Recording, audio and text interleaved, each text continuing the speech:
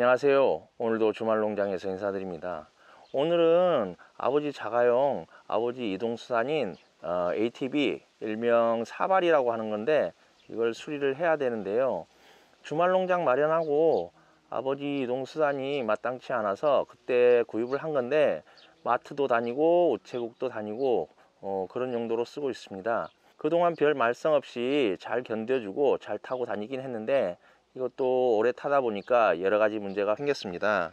어, 먼저 어, 타이어 마모 상태가 심하고요. 타이어가 거의 맨들맨들하게 달았습니다. 그리고 두 번째로는 연료를 공급해주는 연료 밸브가 있는데 여기서 뉴유가 됩니다. 휘발유가 조금씩 떨어지는데 이것도 교환을 해야 될 것 같고 세 번째가 가장 큰 문제인데 이렇게 보시면 이 앞에 앞쪽에 타이어가 한쪽이 어, 누웠어요. 위쪽이 아래쪽보다 안쪽으로 들어가서 삐딱하게 됐는데 이렇게 살펴보니까 이쪽 밑에 지지대 같은 게 부러졌어요.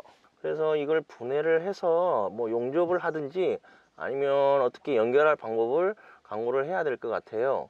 어, 지금부터 작업을 해볼 건데 뭐 잘 될지는 모르겠어요. 제가 하는 전문 분야가 아니니까 잘 될지는 모르겠는데 하여튼 뭐 야매스럽게 한번 해보겠습니다.